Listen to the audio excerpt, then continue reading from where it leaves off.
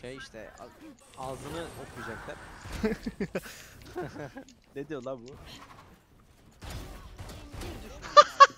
Bir Çok düşman iyi. mı kaldı? Ne yaptınız oğlum adama? Bu aha.